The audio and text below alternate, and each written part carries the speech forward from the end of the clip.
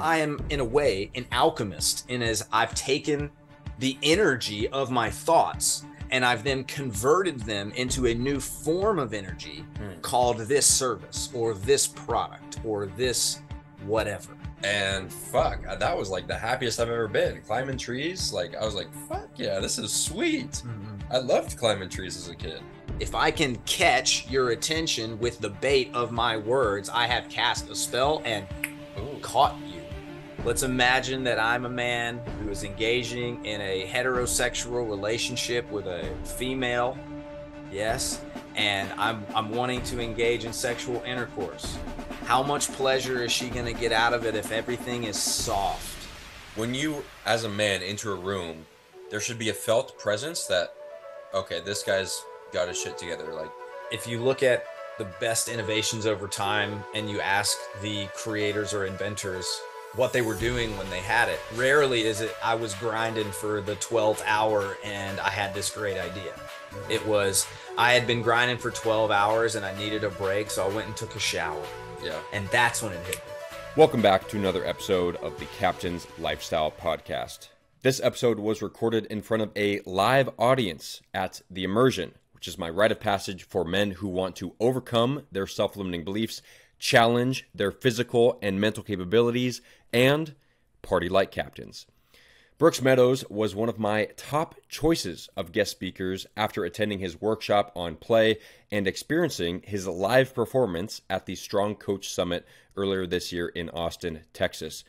As expected, he knocked it out of the park at the immersion, and I will definitely be having him back to present at future immersions. Speaking of which, the next immersion will take place in May of 2023, and the only way to attend is after graduating from the Captain's Lifestyle Program, which is my four month lifestyle optimization program for impact driven men who want to consistently maintain healthy habits, build confidence, and have the discipline to stay focused and productive. To apply, visit thecaptainslifestyle.com slash waitlist. All right, now let's get into today's wonderful episode with my friend Brooks Meadows.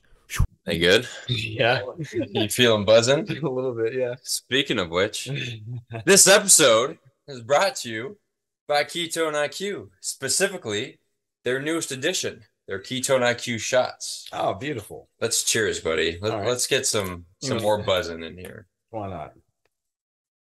Cheers. Cheers, man. Ketone IQ. You're such a fucking pro, dude. How so? It took you 0.5 seconds to launch into the intro. Yeah. Right right into it. Right into it. Uh that's what happens when you're buzzing on ketone IQ. Uh th- this stuff honestly has been phenomenal. I mean, you guys know I don't promote any bullshit. I only promote stuff that I personally use and believe in. And HVMN is one of those companies.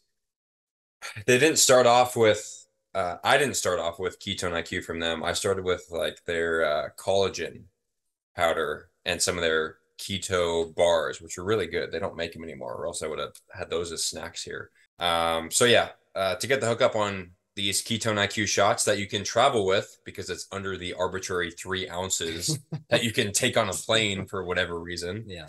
Uh, you can throw them in your gym bag, and I put it in my pocket while I did a thousand lunges. So at the halfway point, took it out, boom, energy, almost instantaneous. So you can head over to hvmn.com, use code Captain Morgan to pick yourself up some ketone IQ shots. Uh, speaking of mental clarity and performance, this episode is also brought to you uh, not by my decanter, but by what's inside the Nectar X. It's a Nootopia product, and uh, they're also a sponsor of the Captain's Lifestyle Immersion, is where we are now. Everybody's uh, buzzing on Ketone IQ and Nectar X. So get that mental and physical performance in. Uh, Nootopia makes 100% customized nootropics. So that means that each formulation uh, that you get, well, each order has like nine different stacks that you get. And each of those nine stacks are custom tailored to your brain specific neurotransmitter imbalances. So before you order, you got to fill out a questionnaire like, how happy are you? How productive are you? Uh, how how focused? How much focus are you looking to have? What supplements are you currently taking? What's your diet like? How is your sleep? All these things, It's based on the Braverman test, which is like the the gold standard when it comes to uh, checking your neurotransmitters.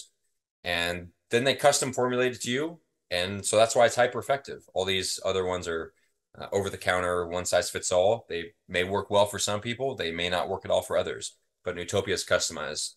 Uh, so yeah, get the hookup. Use code Captain Morgan at nootopia.com slash Taylor.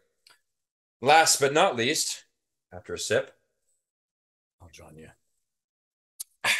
of Nectar X, this episode is also brought to you by Lambs, which is this EMF blocking clothing that I've got on right now. It's the healthiest apparel you'll ever wear. It's made of silver. What? It's like I'm a fucking king, Literally. which we will get into on this podcast. right. I'm wearing silver on my head because it blocks up to 99% of harmful electromagnetic fields, which cause oxidative stress in the body that can cause things like headaches and stress and inflammation and trouble sleeping. Um, tinnitus, actually. Mhm. I used to ha- have tinnitus after I got out of the Marine Corps. And since rocking the slams gear and turning off Wi Fi and keeping the phone in airplane mode, I don't remember the last time I had ringing in my ears. Like it's it's crazy. Um yeah. It's I I really can't attribute it back to once I started being more mindful of EMFs. Because before that it was just like this annoying like my ear. Anyways, so yeah, it's brought to you by Lambs. And I've got a present for Oh, you, no. sir, as a Oh, podcast yes. guest. Beanie, black or gray? What do you think, guys? Black or gray? I go black. Black it is, man. Black, it up. is. Thank Match you. the outfit. Thank you, lambs. Yeah. I, I'll put it on now. Go, Let me put yeah, go now. for it. We'll we'll, we'll it. twin. All right, cool. We'll twin. I'm rocking it right now. I slept with this on last night because it acts as not only does it you know protect your brain from EMS, but also uh, in the evening I like to use it as a eye mask. I just pull it all over my head like that. I think I'll just record the podcast. Like you look this, like actually. Daredevil for real. He looks like Daredevil for I real. don't know who that You're- is. What? I, who's Daredevil? Well, first of all, he's a superhero. Okay. Okay. Goes blind as a young guy, develops a hyper sense of awareness due to his blindness. This isn't a popular superhero. I mean, he's pretty popular. He got a show on Netflix. He's fine. And so when he's like Marvel or DC? Yes. Or? Yeah, it'd be Marvel. So when he Really? first starts and he doesn't have a superhero costume, he he does that exactly. He pulls his thing over his eyes because he doesn't need them. Everybody's like, "Oh, I'm gonna I'm gonna fuck this guy up. He doesn't have eyes." And then it's it's Daredevil. So What's his power? He can like see in the Matrix. yeah, and it's like uh, so. Imagine you could see in the red light how you can see in the red light. That's what his vision looks like Mm. behind his eyes. Is that he's uh, almost created like bat sonar in his brain from all of his senses, and he can actually see what's happening. It just doesn't look like vision like you or I have. It That's would just be cool. like people lit on fire. Can see the heat. Like Neo saw in the Matrix. And- Exactly, but it's not computer codes. It's Yeah. just it's heat, Okay. and he's got it down. And you look like him. So All right. go figure. I'll, I'll take that. All right. Thanks, Lambs. Lambs. Appreciate you. dot com. Use code, lambs.com? yeah, getlambs.com. Use code Captain Morgan. That will save you, I believe, 10% on the world's healthiest apparel. Uh, sweet. All right. Now let's dive into the nitty gritty of Brooks Meadows, who Yeah. I'm joined by. This is the king. He's King of going, The king. the of king what? of storytelling. All right, I'll take that. I'll take that. This man is one of the best storytellers I have personally ever heard. And I knew I had to get him for the Captain's Lifestyle Immersion because I, I know that all of you guys will love his amazing storytelling abilities to close out the Captain's Lifestyle Immersion. You're you are the closing ceremony. I How does am. that feel? I'm the closer. yeah. Uh, in baseball, I I I carved out a little niche for myself as coming in towards the end of the game to solidify everything. is that just because you were on the bench the first eight innings? or- Yeah, well, the way pitching works is that everybody gets a particular role. You have starters, and then you have middle relievers, and then you have closers. And I was a closer. Uh, and plus, I just like to watch Dave and uh, Chase do all the heavy lifting with you guys. They get you guys nice and cracked open for me, and then I get to come in and have the get to have the fun. Yeah, they they've been crushing it, always, dude. always watching them work together is a real treat. they are professionals. You are professional. And uh, yeah, very familiar with pitching. You did you know my dad was a professional baseball player? Tell me about it. he played uh, professionally up to AAA, spring training of AAA for the Blue Jays Wow. organization as a pitcher. Yo, it's a hard, it's a hard life. I remember growing up as a kid thinking that's what I wanted to be as I grew up. You got to put uh, everything into it. Yeah. Oh yeah, uh, I've everything. But you know what those guys do also? What? They game like you wouldn't believe. They Oh, spend yeah. so much time In the bullpen? No, not in the bullpen, but just Oh. in life outside of the outside of the games. Like, Huh. dude, it just uh, in a way, uh, uh, being a pro athlete is not nearly what you would imagine it is, uh, because the training is work, so it's not nearly as fun. And the way that they decompress from all that stuff, a lot of them they Yeah. just play games, man, Just chill. and they go out and try to, you know, uh, be social.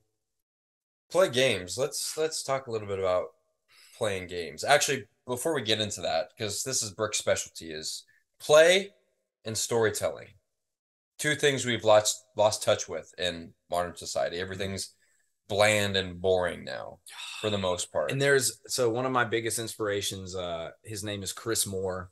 Chris Moore founded the Barbell Shrugged podcast out of Memphis, Tennessee. It became the number one fitness podcast in the world.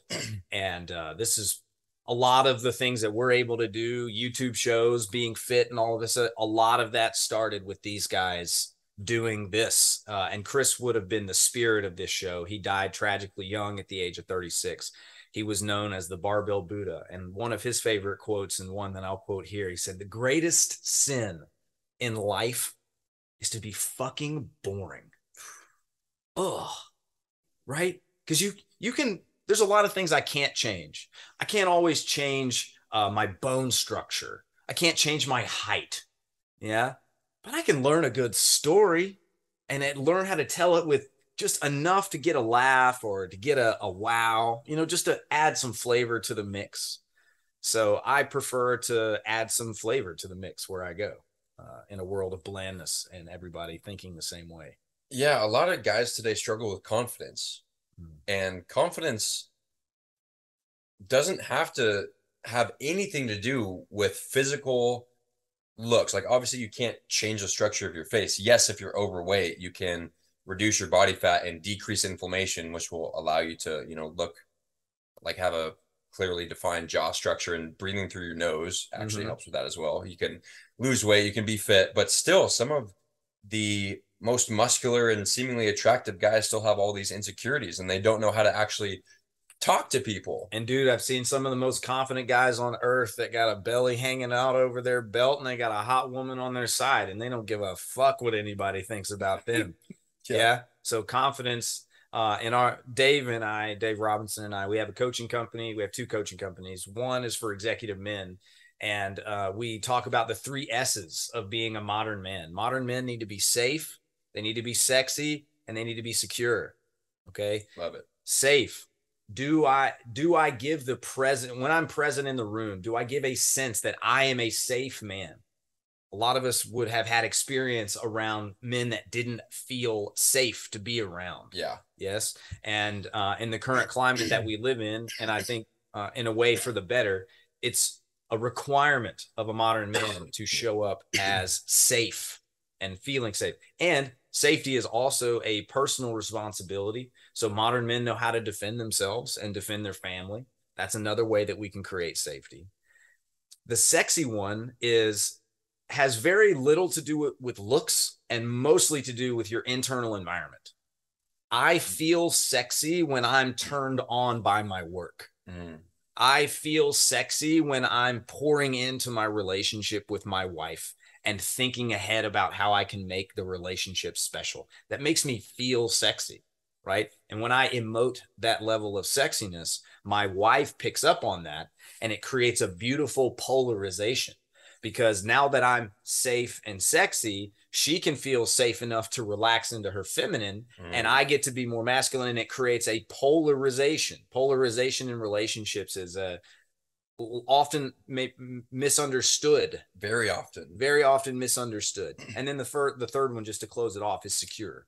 Um, there's a lot to that. Feeling secure in who I am as a person and uh, financial security is another form of feeling secure. And so modern day like men need to take care of their finances in order Mhm. to experience a sense of security for themselves. So uh, we get on all those three things. Very little of it has to do with your physical look, and a lot of it has to do with the way that you're presenting out in the world from the inside.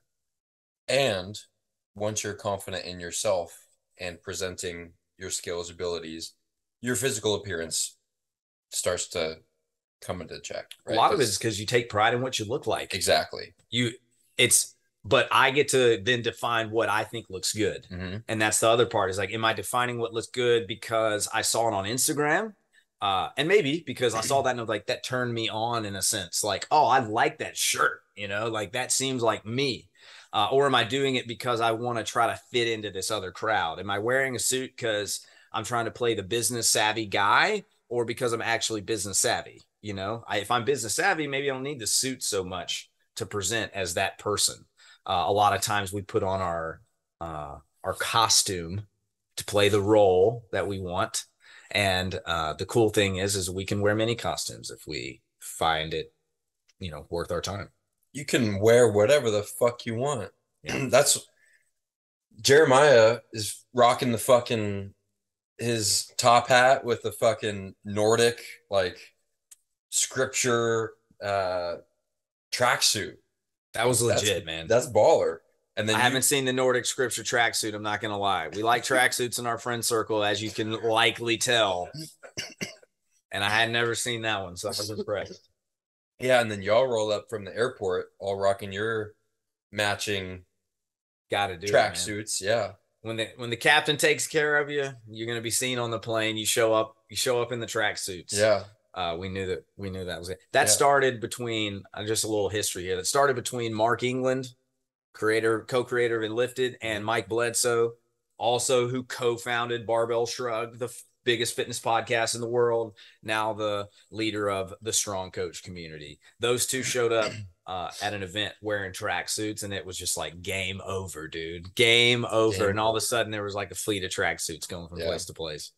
That's how I first heard of uh, Mark England, and it wasn't lifted at the time. It was Procabulary. Yep. On his podcast with Mike Bledsoe on Barbell Shrugged way back in 2016. I didn't take action on it then. I was still a, a CrossFit coach. I knew that that was something that I wanted to do, but I, I wish I would have got in, got in on it early, you know, because let's talk about language Let's go a little bit. Language is fucking powerful. Well, it's literal magic. How about that? Literally. Talk to us about it. Literal magic. Okay. Um, let's talk about what magic is uh, and maybe what it's not. Uh, literal magic is, in a way, alchemy. And alchemy is turning something from one element to another. Mm. All right, let's play the, let's use our, let's go into the theater of our mind, everybody. Let's imagine for a moment Mm. You're living in a different time and in a different era an era where we don't have maybe so much uh, modern technology to navigate our way through the world and there are these groups of scholars in a way called alchemists and most people think about alchemists as turning lead into gold and I can leave open to the possibility that that's literally true. But let's also imagine that these were really smart people too. And when they created ideas and frameworks, they weren't simply speaking only literally. Sometimes concepts can be used to help us understand the way that the world works. Okay. So the air element is my mind. Yeah. The water element are my emotions Mm.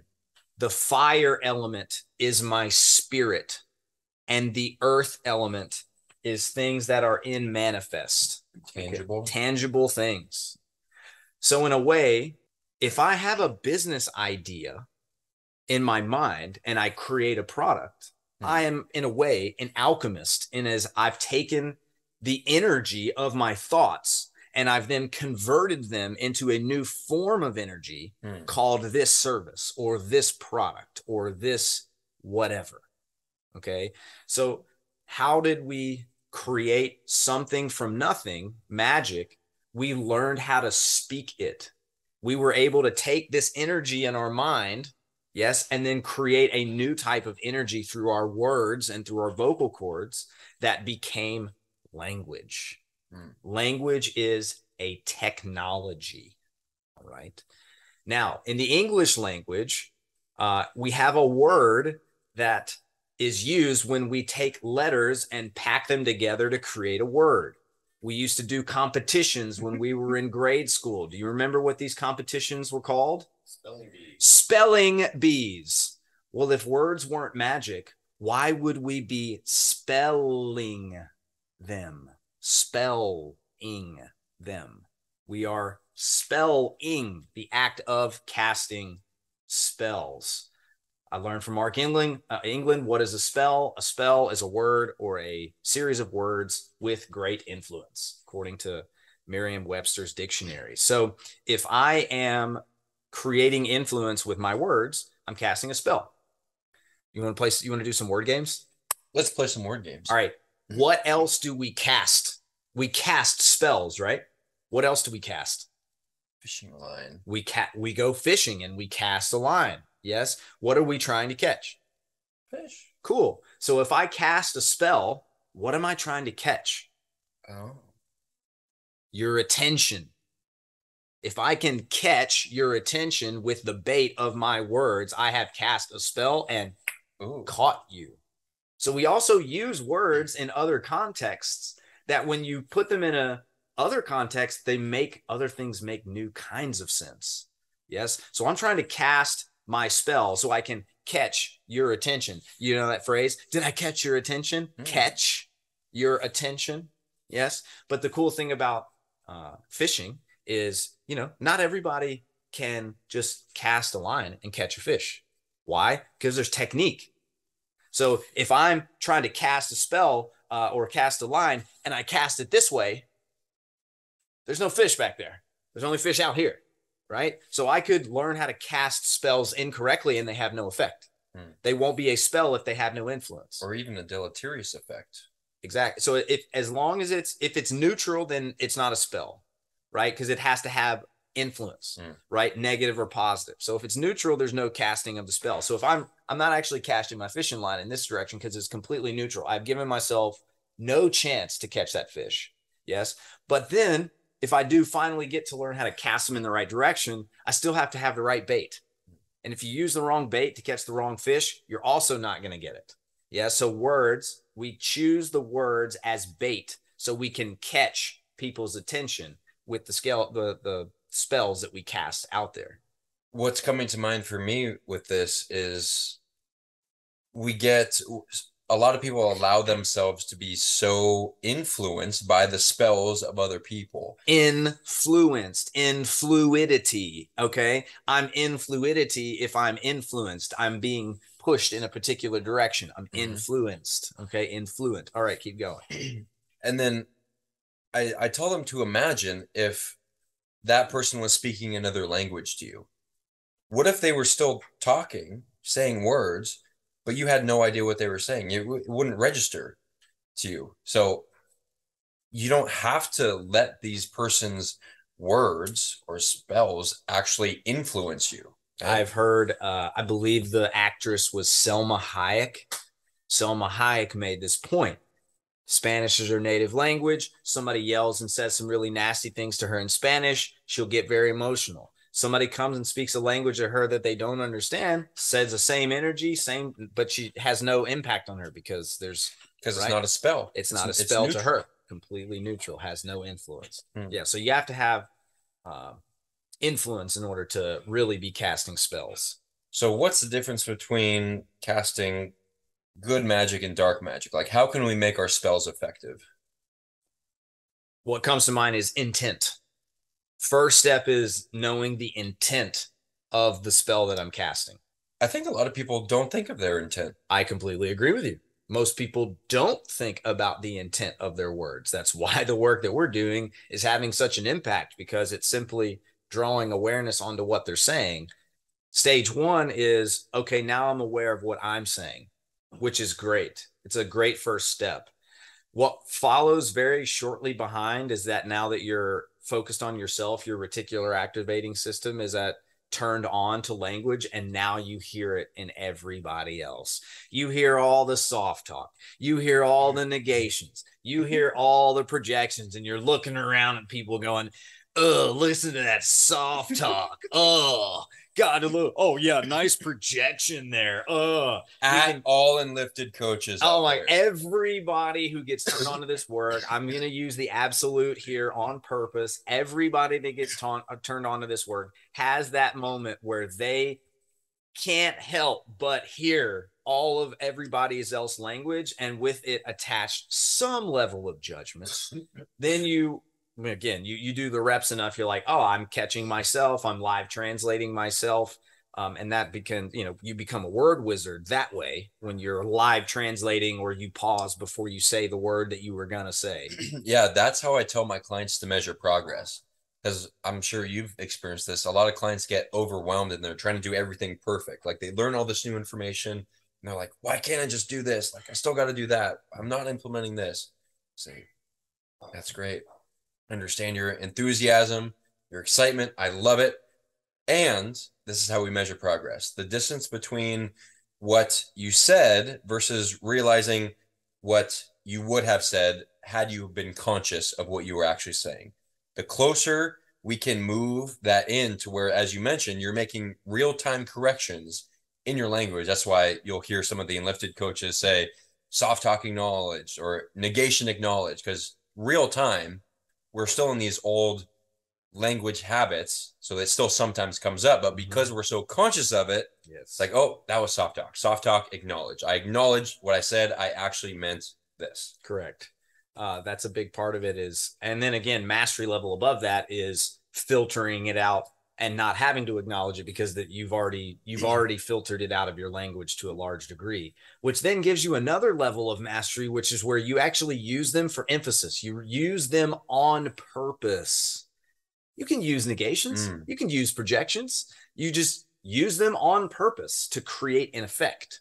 And that's what i see mark do often is that he will use them on purpose to emphasize whatever he's trying to do the Mm. the point is to get out of the mindless usage of this language because then you're you're not steering your experience you're being led or uh, influenced Yeah. channeled influenced by language that is absent-minded or subconscious So how how can people like what what's maybe top three, maybe most important step how people can go from unconscious on autopilot to conscious of these things, becoming the captain of their own life using their words. I know at this moment in my life, no better way to do that than to practice the four step Enlifted method. At this point in my life, my my genuine honest answer is the four step Enlifted method Which we have been doing all weekend all weekend. And this is and uh, will continue to do. in the Enlifted community they say this information is open source. So if you go to an open source website you can actually see behind the curtain and see what the codes are made of all right? And you could change them. So mark and adam they created the enlifted method to be open source on purpose. So they're upfront what the four steps are. Step one if you have if you want to get clear on your language or your experience pick a memory that has been bothering you write it down. Title it and write it down. That's step one every time. Uh, i've written down many stories. Many of them i used to journal but journaling ended up being this endless exercise that had no beginning or ending. So when you write it write it like you were going to write a movie script. Mm. write it like a scene where it would have a beginning an opening part and a close and an ending part and you know when the scene is done. That's step one. Title it. Write it down. Step two read it out loud. When you read it out loud you're likely depending on how strong the influence is of the story you may read it really fast which is fine. Uh, you may miss some of the words that you were using because you're trying to get through it. So when we get to step number three you've read it in step two. Step three is you slow it down. You read it at 70% the rate of speech.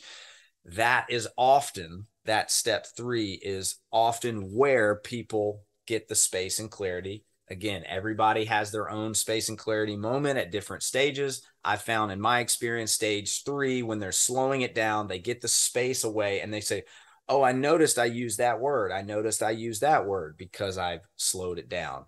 And then uh, once you've read it at the lower rate of speech, you check in again. Step number four, you read it. And after every period, uh, most commas and some breaks in the sentence where you would naturally take a breath, slow it down. And once you've done that, you can revise it. So another term that's often used in Enlifted is draft, craft, and supercharge. Hmm. So if you've written down the tough memory, you've drafted it. If you'd like to craft it and you'd like to turn it into something that is an empowering story, you take some of those sentences that were maybe hard to read, hard to write down. You analyze them. And did I write down something like, this always happens to me? Or I never get what I want. You know, these are very dramatic statements. And can I take some of the charge out of them by going, I sometimes get what I want? Maybe not as often as I'd like, but I sometimes get what I want. Okay, well, that's better than never it's less potent, it's less charged. It's like, okay, it's an acknowledgement that sometimes I get my way. And you get to see, is that accurate? It's like, actually, you know, it turns out I get my way a lot. In fact, I often get my way. And now I've crafted it into something like that's now getting supercharged. Like, I often get my way because I'm very influential.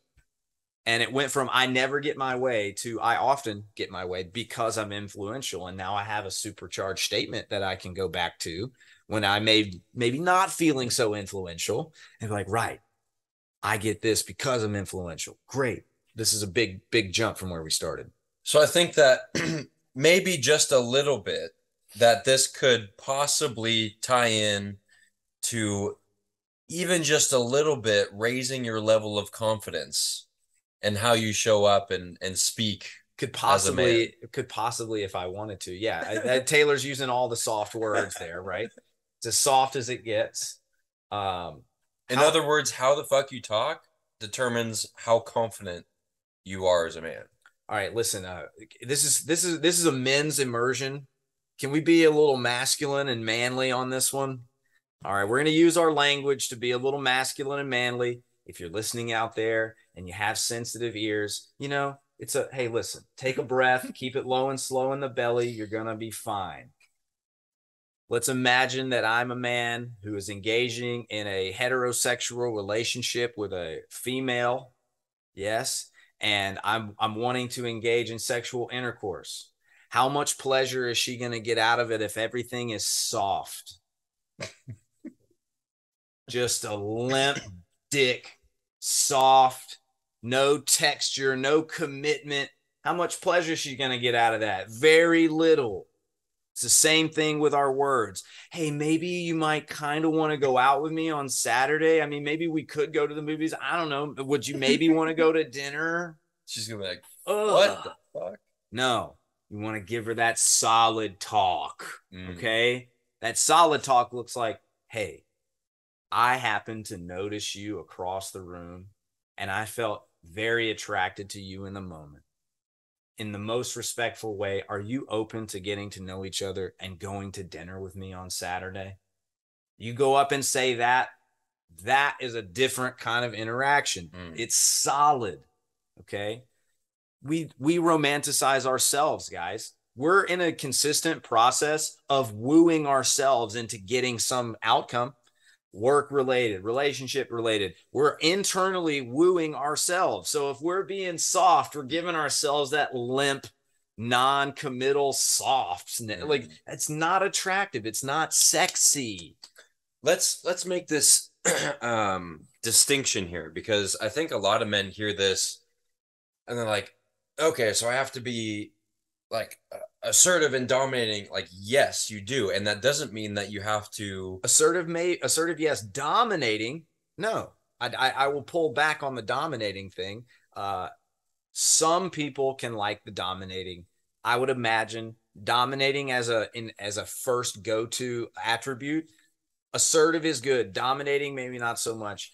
But continue with your question. Yeah what i meant more by dominating is like have a dominating presence when you enter the room. Totally which goes to what you were saying. Like when you, as a man, enter a room, there should be a felt presence that, okay, this guy's got his shit together. Like he, going back to to what you said about being safe, like men should be able to protect themselves. Mhm. So, uh, you know, usually the loudest person in the room is the uh, the least confident or uh, less able to handle situations. Not always, right? And being Not always. loud is a great defense mechanism. Uh, a bear walks up to you in the woods. What are you supposed to do? You're supposed to get big and loud. Being big and loud is a great way to protect yourself when you feel that you're at a disadvantage. So it's Mhm. no surprise that it shows up in the bars or in, you know, you Mhm. have a lot of people wanting to feel safe. They don't feel safe in a crowd. Get big and loud. Nobody come over here. Yeah. off limits. yeah. Yeah. And uh, guess what? You it, it works. Wow. it works. So let's let's talk about how this can be balanced. So yes, have your assertive and dominating presence, like j- be so sure of yourself, and that doesn't mean losing touch with who you are. And this is one of Brooks' specialties as well, is understanding the importance of letting the fuck loose Mm-hmm. and playing, especially for you know alpha men who are so driven in typically entrepreneurial pursuits. They get so caught up in that that they lose touch with everything that they enjoy doing, hanging out with their family, playing with their kids. Talk to us about how detrimental that is. Well, before I do that, I want to talk to you about what your life was like before realizing that and what your life was like after realizing that. Let's do it. Let's go. So I I had always been a, a very playful, happy, excited kid. Uh and let's see, I'm I'm trying to imagine when this was reprogrammed in me. You know, going through school, you're always taught to sit still, shut up, follow the rules, right? Which I always hated. I'm sure if I would have would have been going to school now, I would have been diagnosed with like ADHD or something. You know, guys aren't supposed to be sitting, young kids aren't supposed to be sitting down paying attention for eight hours a day, right? We're supposed to be up moving and playing. And same thing at work, you know, going through the Marine Corps, everything is very structured and rigid. Um, and then you look at examples of leaders or entrepreneurs who are successful, and there's different visions of what successful is. And then you see it's all about the hustle, the grind, the the work, work, work. You got to wake up early, work all day, and then start over. It's like, yes, but where's the balance in that? So I got too caught up in in the one caring what other people thought of me and if I fit in, right? Like, is this okay for me to do? Like, I kind of want to dance right now, but I don't know how to dance. Is are these people going to judge me? Mm-hmm. You know? So it's Mhm. like that lack of self-confidence and lack of certainty of who I am, that held me back as well. And then so when I came to the Strong Coach Summit and you gave your your seminar on play there, that was like liberating for me because here I am thinking I've got, you know, most things in order in my life and I fucking forgot how to play. And so you were like, yeah, okay, for the next 10 minutes, a little sneak preview for what you guys have in store. I don't know what he has planned specifically, but uh, he was like, okay, for the next 10 minutes, go fucking play. You can wrestle with somebody, you can play basketball, you can, you know, whatever. I didn't even say that. It was like 10 minutes, three, two, one, go. And I ran away from the circle and I got in the monkey bars. Yeah. And just lead by example. Like kids, adults need to be led as well. It's a human quality that most most human beings need a model to live into, especially if they've forgotten it. So Mhm. uh, it's very challenging for an individual or a group to become something that they cannot imagine or hold an image for in their head. Okay. So much so that we have a term used for these special type of people that are able to cast their vision forward and then create it something from nothing that nobody's ever done before, that nobody's ever envisioned before. They can envision it and bring it into manifest. We call them visionaries. and we like wow steve jobs what a visionary he had an idea of something it's like nobody could have thought of that and they go out and get it so this is actually a rare quality. Which is why modeling is so important. So instead of trying to tell them up Mhm. here this is what you have can do you know that's that's what school does to you. This is what your options are. You know that's not as much play as you might imagine if i have to tell you what your options are. Mm. play is a natural state of being where my curiosity is very present and it allows for a lot of things. So i just modeled it by running away and then i turned around once i got there and there was a couple of different categories going on there were some that were like oh i get this shit i remember this shit and they were already like in a tree or playing basketball or whatever and then there were some adults that were frozen What's happening? frozen What do I do now? Exactly. What? No instructions. Don't know how to be. And that's essentially the point of that particular exercise in that moment was like, oh, damn, I have forgotten a very uh, natural trait that was so easy to fall into as an adult, uh, as a child. And then I learn as an adult that, or I'm at least prescribed this idea that being an adult and playing are somehow at odds. And as we'll likely get into, they are not only not at odds, but play is an essential part of the human experience. And it is a litmus test for your quality of life. Oh, absolutely. Because let me tell you, uh, three, two, one, go. I looked around and I was like, okay, uh, everybody's kind of doing something with somebody else, and I am left out because I was one of the ones who was like, what? What do I do? I don't. I'm not comfortable. So I was like, okay, what did I like doing as a kid? And then I just started climbing trees. And fuck, uh, that was like the happiest I've ever been. Climbing trees, like I was like, fuck yeah, this is sweet. I loved climbing trees as a kid. Me too. And so I just I started doing that and I was like, wow, yeah, quality of life instantly went up. And and we can do that whenever, wherever. So talk to us more about uh how and why we should start incorporating play Sure. into our lives. Um, well, anybody Without that- going too in depth because we'll, Yeah, we'll sure. do a whole seminar. and it. then you know fortunately we'll Yeah. the- a lot of this will be new to anybody who hears it so the definitive book on play in the academic world is by uh, dr stuart brown and he wrote a book called play it's roughly 200 pages of really wonderful context for being a human being uh, play like i said as a litmus test for your quality of life uh, it's also a signal physiologically to your body that uh, you're in peril. So when play or enjoyment disappears from your life, your body believes that it's in danger. And even if there's no physical Mhm. danger present, your body responds physiologically to the danger with stress and stress hormones, which yeah. reduces your day-to-day quality of life and over time and increases your risk of disease. Yeah, we we cannot create from a place of survival. So if we're in this, you know, when you guys first get into the ice bath, breathing through the mouth into the chest, you're you're stressing yourself out. You think you can create a beautiful picture when you're stressed out, like trying to to paint? No, you can't. Same thing when you're running away from a lion. Like you're not worried about creating anything. You're worried about getting the fuck out of there. Totally. So same thing. Somebody cuts you off in traffic. You're not worried about creation of any sort. Um, if you're so stressed out about your work, you're you're, not, you're going to be less effective in your work as an entrepreneur, especially who, you know, that's a very creative thing. So No doubt about always it. in this fight or flight. You can never be in rest, digest, play, and create. Correct. Uh, if you look at the best innovations over time and you ask the creators or inventors what they were doing when they had it, rarely is it, I was grinding for the 12th hour and I had this great idea.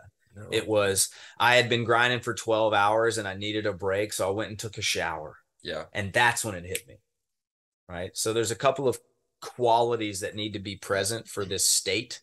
I want to, you can define play a lot of different ways. Uh, I want to avoid defining play as an activity and more defining it as a state of being.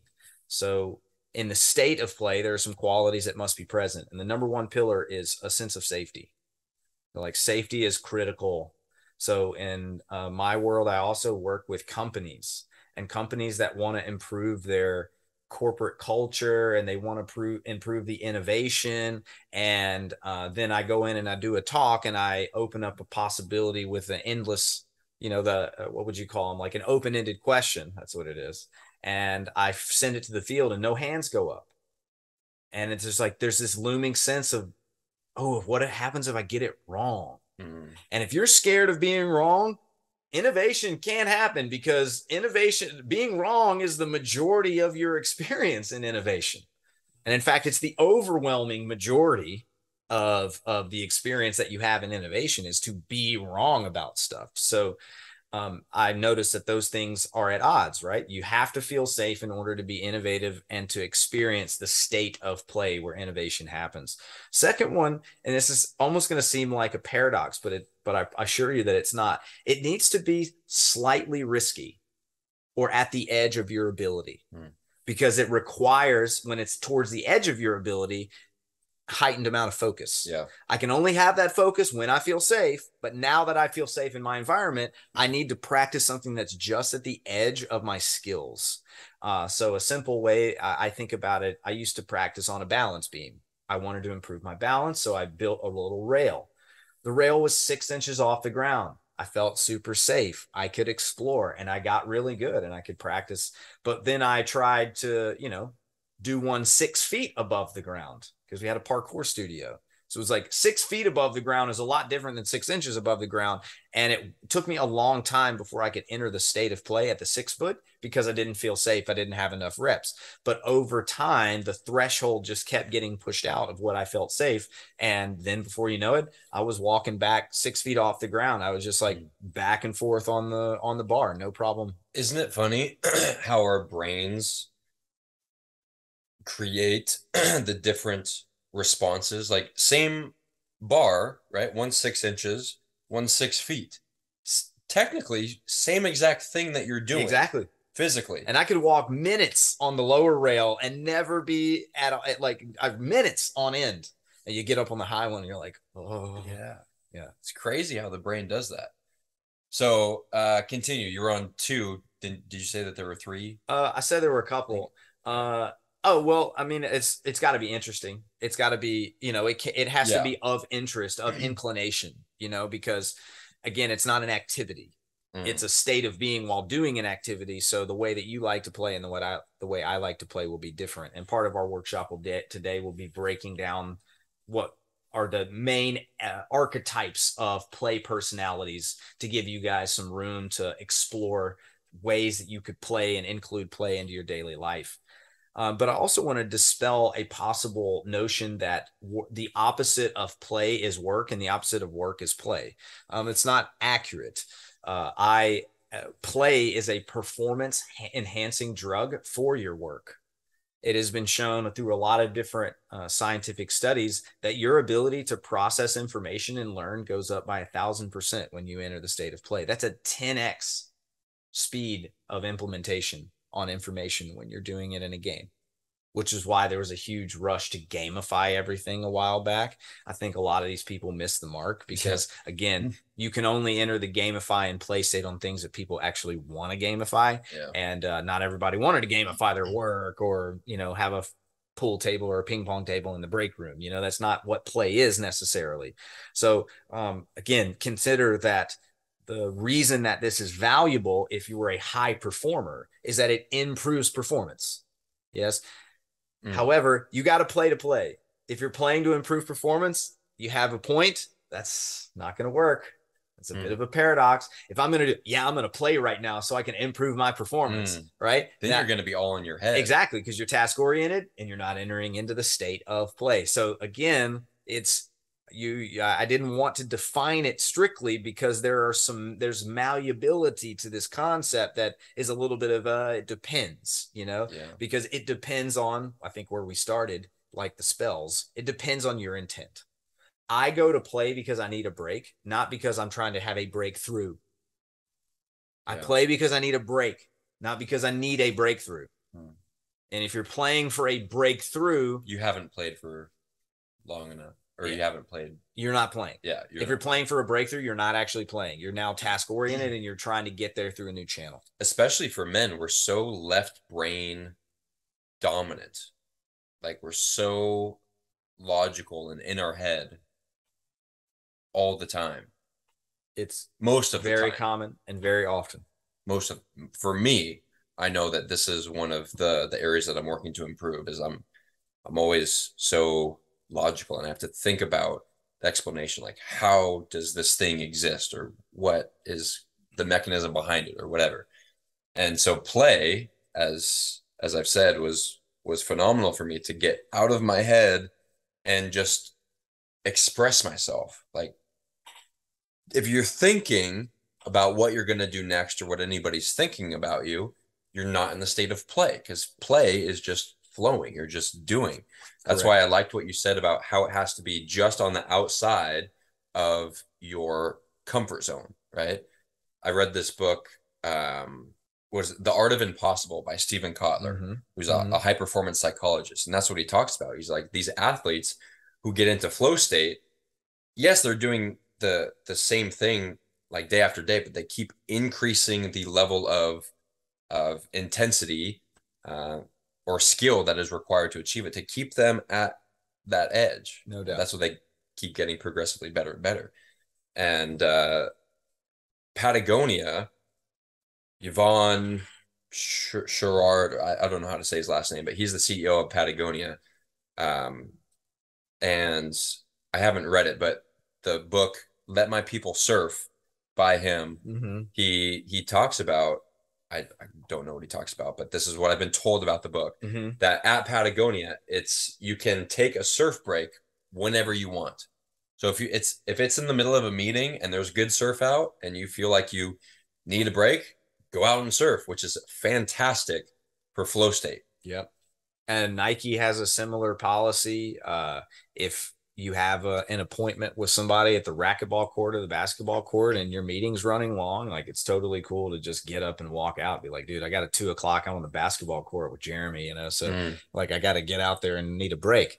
Uh, and again, I work in corporate culture also. Uh, a lot of times companies are hesitant to try to implement something like that because they're because it's not the personality of the company. Yeah. Yeah. So uh, or they think it's taking away from productivity when in fact it's just the opposite. Well, and that's what I my argument to someone like that is usually um this do you I'll ask by being inquisitive. Do you are you a type of person that prefers making data driven decisions? And they're like, yeah. I'm like, Mm. great. Is that why you want people to work more? Because this is a data driven decision. You're like, yep, data. I'm like, all right, here's the data that shows you that you're wrong. Here's the data that shows you that you're wrong, that you should have a constant email t- in touch by email culture. Oh no. Here's the data that shows that you're wrong. Why? Because it takes roughly 45 minutes on average to ramp into a peak flow state. Hmm. And if somebody, and you can hold it for about 90 minutes. So you can ramp up, it takes you about 45 minutes. You can hit a peak, you can hold that for another roughly 45 minutes, and then you start hitting the decline. So the real skill of work is to pocket yourself in those two hour blocks where you spend 90 minutes ramping yourself up, 30 minutes decompressing, 90 minutes ramping up, 30 minutes decompressing, and repeating that cycle, you'll get way more done. Because here's the thing if at minute 33 or 37, like right when you're tipping into flow state, you get an email pops in that pulls away from your focus, you got to start all over again.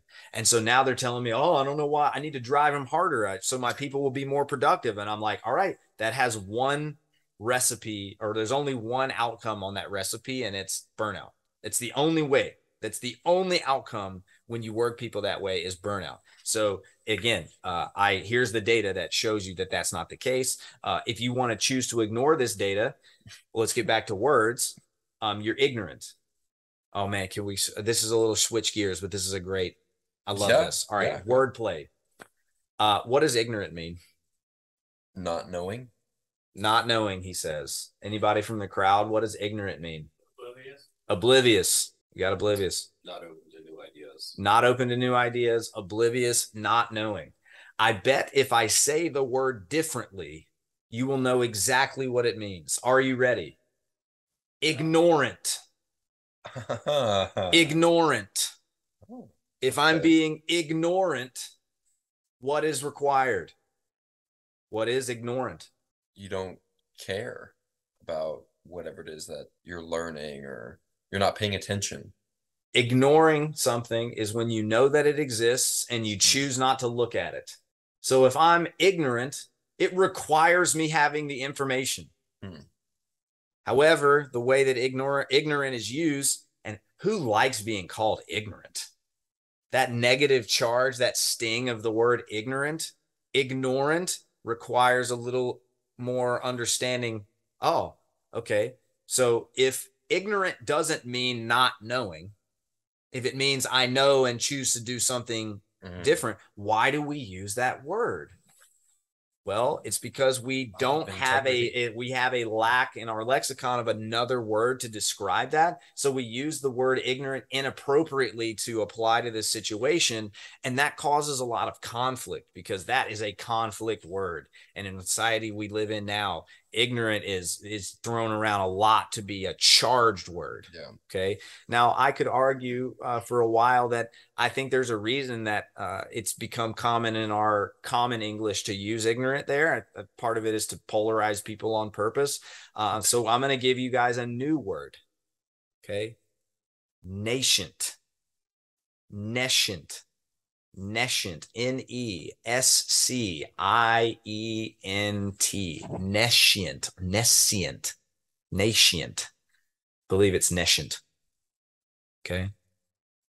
S C I E N. What is that starting to seem like? S C, huh? Science. Science. Okay. Nay, science. No science. What is science? Knowledge. Nascent. No knowledge. So if I'm nascent, I don't have the information. If I'm making a mistake, it's because I don't have the information. Well, a lot of us have been in a situation where we didn't have the information. There's a lot of innocence Mhm. in not having the information. So, uh, you know, one thing that one word that has a lot of charge, for example, uh, and I grew up in a city where this was a, co- a prominent conversation, um, and that's racism. You're a racist. Yes. Well, like racism by definition is a belief, an internal belief that one race or ethnicity is has more value than another. Yeah. Which I've met a lot of people, vast, overwhelming majority don't qualify in the belief that one ethnicity has more inherent value than another anymore. But they may do something that's racially insensitive that would be called ignorant when really it's nascent. They didn't have the knowledge. They didn't understand that what they said or did was offensive to a culture. I lived in a I lived in South Korea. I made many mistakes by Korean cultural standards, let me tell you. Not because I was ig- ignorant of them or ignorant of them, it was because I didn't have the knowledge. Fortunately for me, they knew that. I was an American. I wasn't Korean. How could I have known? But they, and so they're willing to give me more empathy.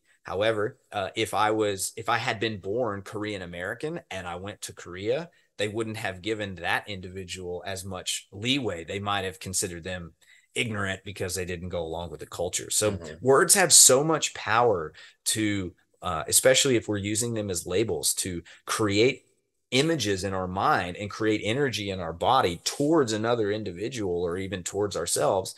That if we then break them down, and I encourage you to now get curious about words that you use on a regular basis. Check out their etymological origins, see what you can figure out. Another one that I like is I play a game with my corporate uh, cor- presentations and corporate clients. I get a whiteboard and I write three words in the left hand column. The words are lazy, happy, and busy. And in the right hand column, I spell laziness, L A Z I N E S S. Second column, happy goes to happiness, H A P P I N E S S. And then I leave the bottom right blank. Say fill in the blank. So fill in the blank. What would be if I have lazy, happy, busy, laziness, happiness, Busyness, Busyness. busyness? How do you spell busyness? Business. Do you? No, but that's what it sounds like. Sounds like right. Business. Well, bu- busyness is Is spelled it I? No, it's with a Y. exactly, exactly. B U S Y N E S S is actually how you spell busyness, Yeah. but in your mind, you likely filled in With an I. with an I, B U S I N E S S. And I was like, that's a funny little word trick. I wonder if there's anything to this. So I decided to get curious and look up the origins of both of these words. It turns out they have the origin in the same word from Old English B I S I G N I S. Busyness, business, however you would have pronounced it in Old English, literally translated into modern English, anxiety. Hmm. So if abracadabra with my word I create, what am I creating when I start a business? I'm creating busyness or anxiety by definition, which is why you must harmonize this with play. Hmm. It's a required essential part of being in business is you have breaks from that. You play. I like to tell my clients to differentiate between busyness and productive. It's not, they say, oh, I'm too busy. First off, no, the fuck you're not. We all have the same amount of time. Second off, are you busy or are you productive? A lot of people get caught up in busy work, replying to emails as they come in, texts as they come in. I call those OPP, other people's problems or priorities. Yeah. Like if you're spending your days responding to OPP, like Mhm. you're not going to have any time or energy for yourself. No doubt. So that's busyness. That's having that's taking on everybody else's schedule. You need to be productive to Mhm. find what you want work for those things and play. Schedule play. That's productive. and I do. I schedule play into my day. Um, it has become a litmus test for my own personal health and well being that if I'm feeling crunched on something and I give up play for three or four days in a row, whether that's in the form of an exercise routine or in the form of enjoying time with my wife, like that's my litmus test that I'm getting away from the point. Uh, our friend Ben Walker often says, fun is the point Hmm.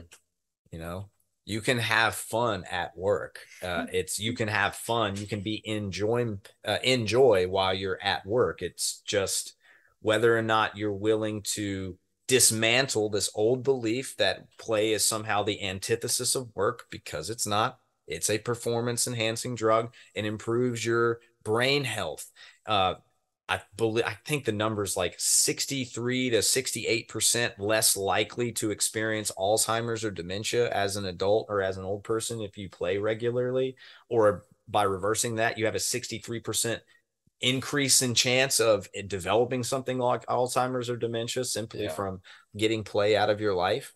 Uh, and I've heard it often said basically, if you stop playing, your body believes it's in peril and it stops growing and adapting, which means it's in the retreat. Yeah, getting older has nothing to like you don't actually have to feel and get older as you age. Like if you keep moving, you keep playing.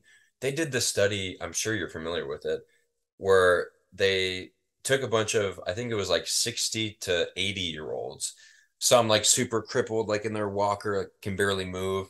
And then they brought them to uh, like a, a makeshift town of like when they grew up in the 60s and they had the whole town was like an actual 60s town. The cars you go into any of the houses it's like actually like 60s themed like there's kids playing baseball and whatever.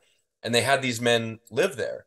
And sure enough like the guys in the walkers would start to walk up and be able to move and like they're living their childhood again.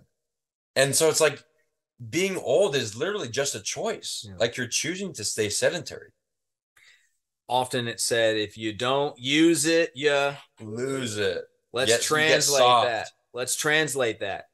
If you use it, you keep it. Pretty simple. What am I thinking about if I'm saying if you don't use it, you lose it? I'm thinking about losing it. But if you use it, you keep it. I'm now focused on keeping it.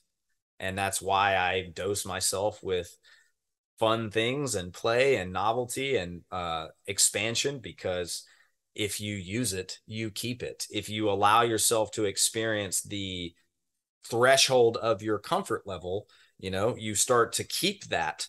Uh, I'm used to expanding or doing something slightly on the edge of my risk factor, then you're more likely to keep a more robust physical experience, personal, uh, spiritual, emotional experience, allowing yourself to engage in something that's again safe but slightly at the edge of your skill set is what allows for you to do that.